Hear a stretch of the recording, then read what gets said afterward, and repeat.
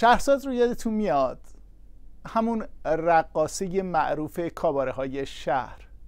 همون بازیگر مستعد سینمای پیش از انقلاب. همون زن فیلمساز و شاعر. شهرزاد حالا کجاست؟ بیایید بعد از چهل سال سری بزنیم به او.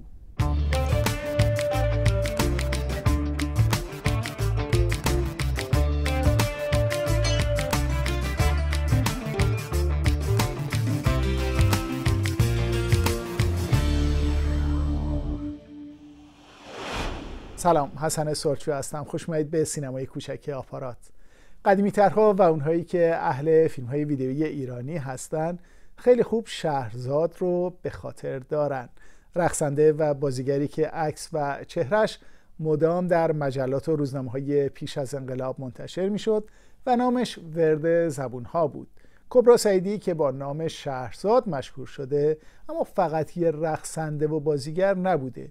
او یکی از اولین زنان فیلمساز در ایران به شمار میاد و کسی است که اهل شعر و چند مجموعه شعر با شعرهای قابل توجه ازش تا قبل از انقلاب چاپ شده. ولی شهرزاد پس از انقلاب قربانی تصفیه ها و حال هوای انقلابی اون روزها شد و دچار گرفتاری ها و شیوه زندگی منحصر به فردی شد که شبیهش رو بیشتر در قصه ها میشه شنید.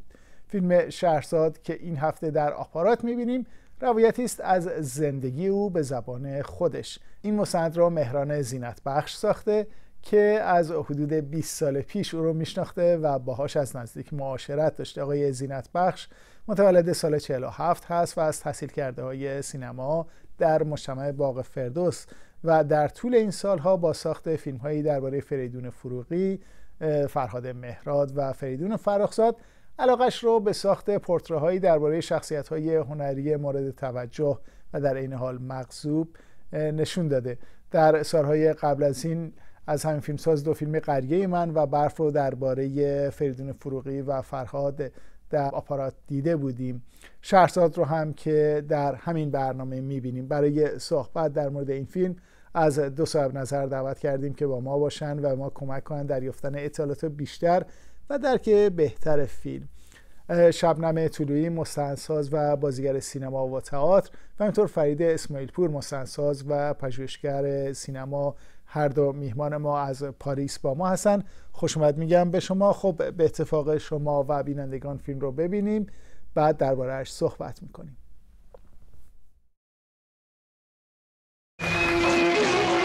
ولی فهمیدم مثلا جایی هست که میرقصن. تو فیلم ها دیده بودم اما خود محیط رو ندیده بودم. گفتم خب خودم میرم پیدا می‌کنم یه جایی که برقصم. چرا این منو ببره؟ چرا منو بفروشه؟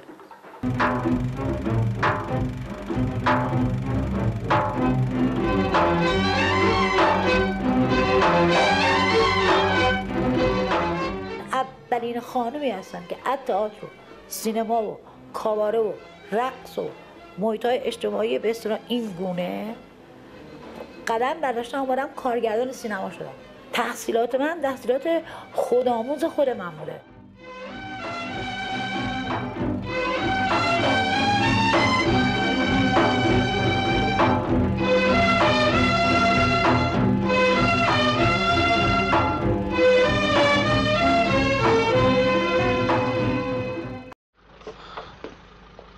بینم. شب کجا میخوابی؟ یه مسافر خونه. اگه دهنت قرص باشه می‌تونی بیای پیش من.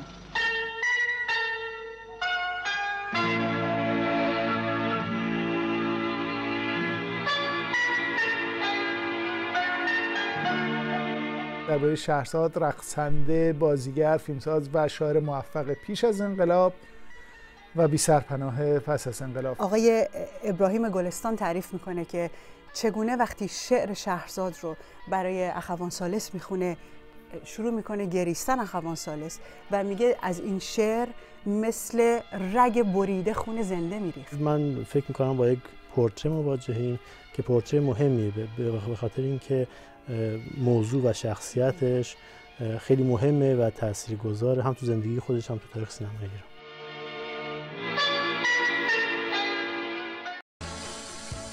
شهرزاد رو دیدیم ساخته مهران زینت بخش. درباره شهرزاد رقصنده بازیگر فیلمساز و شاعر موفق پیش از انقلاب و بی سرپناه پس از انقلاب. فیلمساز در این مستند سعی کرده که روایت خودش رو از زندگی این شخصیت ارائه بده و در این حال نگاهی پرسشگر داشته باشه. درباره زنی که سفری منحصر به فرد از فقر و تنگ دستی به شهرت و محبوبیت داشته و دوباره شرایط جامعه رو بازگردونده به زندگی در تنگ دستی و بی سرپناهی. اما بذارید ببینیم که میهمانان و صاحب نظرانه دعوت شده به برنامه چی فکر می‌کنن در این مورد. شبنم طولویی مستندساز و بازیگر سینما و تئاتر و فرید اسماعیل پور مستندساز و پژوهشگر سینما هر دو از پاریس همراه با ما هستن. خیلی خوش اومد. میگم به شما گفتگو رو با شما شروع می‌کنیم خانم طولویی فیلم چه دور فیلمی هست؟ برای من خودت شهرزاد به دلیل جذابیت شخصی و زندگیش شاید خیلی غالب بود به ساختار فیلم و ساختار سینمایی فیلم. یه ذره احساس کردم الان که داشتم فیلم رو می‌دیدم که شاید خود کارگردانم دچار همین ماجرا شده و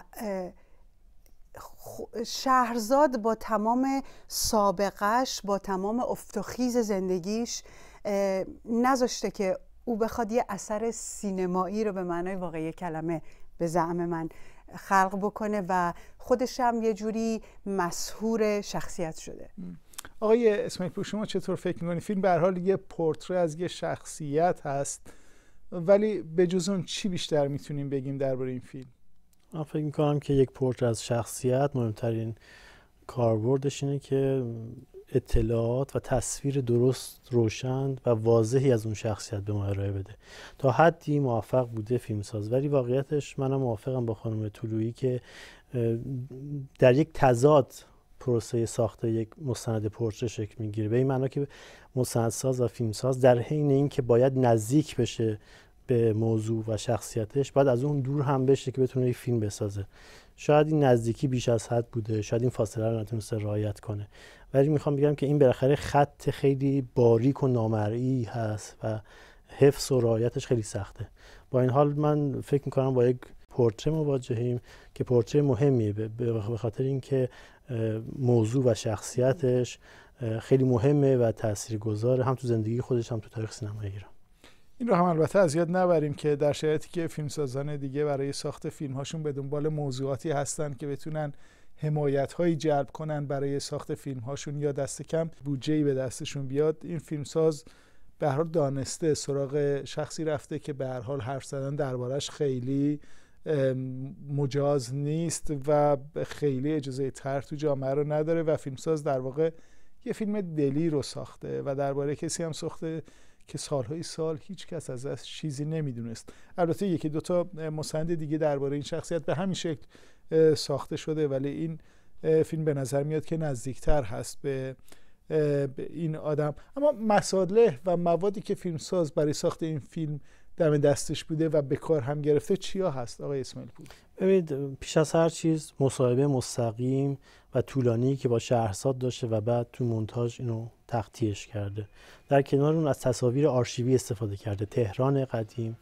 همینطور از تصاویر فیلم های سینمایی استفاده کرده. چون اون بخشایی که شهرزاد درشون حضور داره و چون بخشایی که می‌تونسته به اون بار و روایت دراماتیک اثرش کمک کنه در پیشبرد فیلم. همینطور چیزی که نباید فراموش کرد یک نوع بازسازی انجام داده به این معنا که اومده و از بناهای امروزی که از سینماهای قدیمی مونده از لالزار امروز البته تصویر گرفته و بعد اونها رو مونوکروم یا سیاسفید کرده برای اینکه یک حالت نوستالژیک ایجاد کنه یا بگه اینا نوع بازسازی هن. و در آخر باند صوتی فیلم که اضافه میشه به اون وجوه تصویری اثر در از موزیک هایی که روی فیلم هست و اکثرا ترانه هایی که ما میشنویم که سعی کرده دراماتیزه کنه فیلمشو. خانم طولویی فیلمساز داره از یه شخصیت یه فیلمی رو می‌سازه اشاره هم کردیم که چگونه پورتری هست و اینها. ولی نگاه فیلمساز به این شخصیت چگونه هست؟ کجا ایستاده فیلمساز؟ در ساختن فیلم در روی شخصیتی که به حال ممکنه بهش هم علاقه داشته باشه یا نوستالژیک براش باشه این شخصیت؟ ببینید من شیفتگی فیلمساز رو نسبت به این شخصیت و احترامش رو مخصوصا به دلیل جمله‌ای که اول فیلم می‌ذاره که فیلم رو تقدیم می‌کنه به تمام زنان قدرتمند حالا عبارتی با این مضمون. اینو می‌بینم. اینکه ما از هیچ شخصیت دیگری نمیشنویم که راجع به شهرزاد صحبت بکنه. اینه به شکل مستند کلاسیکی که بقیه راجع به یه شخصیتی حرف می‌زنن و بعد خودش تایید و تکذیب می‌کنه. وارد این مسیر نشده. دوربین رو گذاشته در اختیار شهرزاد. ولی به گمانم میاد که مثلا در مورد شعر شهرزاد به نظرم این مسئله مهمی که آقای ابراهیم گلستان تعریف می‌کنه که چگونه وقتی شعر شهرزاد رو برای اخوان سالس می‌خونه شروع می‌کنه گریستن اخوان سالس و میگه از این شعر مثل رگ بریده خون زنده میریخت. ما این رو تو فیلم که این خیلی مهمه ما اینو تو فیلم نداریم ولی مواجهه ایشون رو با آقای ناشر و کتابدار داریم که مواجهه از بالا به پایینه و شعر شهرزاد رو ایشون خب میگه یه شعری که حالا تو زمانی شاعر بودی امروز از شعر جدید دوری و بیا حالا اینا رو ببر بخون. یعنی گمان می‌کنم من ایشون قصد نگاه از بالا رو شاید نداشته ولی در لحظاتی این اتفاق میفته مواجهه با آقای ارشادی که بسیار ایشون نگاه اصلا بازیگر نبوده امروز به جایی رسیده رو داره نسبت به کسی که از هیچ به همه جا رسیده و بعد دوباره همه چیشو از دست داده. این انتخابا که معلوم نیست چرا از طرف فیلمساز صورت گرفته یه ذره نگاه رو از بالا به پایین می‌کنه. یا مثلا کلاژای شهرزاد که به نظر من می‌تونست یه نقطه عطف فیلم باشه. ولی مثل مثل اون آب دادن به گیاه ها اینجوری آروم فیلمساز ازش میگذره. شاید انقدر به شهرزاد نزدیکه. که اینا براش جزو اتفاقات روزمرگی شهرزاد شده و نمی‌دونه که برای ما اینا همه می‌تونست که اتفاق باشه در این فیلم. جای اینا رو من هی خالی می‌دیدم و آقای اسماعیل پور فیلم در آغازش یه pretitle یا مقدمه داره حدود چهار دقیقه که در واقع می‌خواد به ما بگه که شهرزاد کی بوده و بیشتر رقص شهرزاد هست که به چشم کاربرد این مقدمه ها اصولا تو مستند چیه و اینجا چه کاربرد داره اول اینکه خیلی وقتا مستندساز به عنوان دیباچه یا مقدمه ازش استفاده می‌کنه. برای بعضی از سوژه هایی که نیاز دارن به یک پیشگفتار و اطلاعات بیشتری به مخاطب بده و آمادهش کنه و گاهی مستندساز شخصی تر ازش استفاده می‌کنه. یعنی حالات خودش رو که اطلاعات دقیق و حیاتی هم برای مخاطب نیستن. در اونجا می‌نویسه و ثبت می‌کنه برای اینکه مخاطب رو به این نقطه برسونه و بعد روایت رو شروع کنه. اینجا بیشتر اون پیشگفتاره اون آشنایی مخاطب با شخصیتی که احتمالا خیلی تغییر کرده و بعد نسل‌ها عوض شدن و شاید اونو به اون دقتی گذشته میشناختن نشناسن و در این حال خانم طولی اشاره کردن به حضور دو شخصیت دیگه. در واقع فیلم تا یه جای زیادی ازش با مونولوگ پیش میره و شهرزاد درباره خودش صحبت می‌کنه بعد فیلمساز اونو میاره به شهر به تهران و مواجهش می‌کنه با دوتا آدم یک کتاب فروش و یک بازیگر کنونی. این انتخاب دو نفر چقدر کمک کرده به فیلم؟ یا چقدر در راستای اون هدفی بوده که فیلمساز خودش می‌خواسته؟ من با ایشون موافقم که از شهرزاد بعد از انقلاب که اتفاقا شخصیت مهمی هم هست. حتی اون شخصیت قبل انقلاب نویسنده و شاعر اونقدر در این فیلم نیست که باید باشه.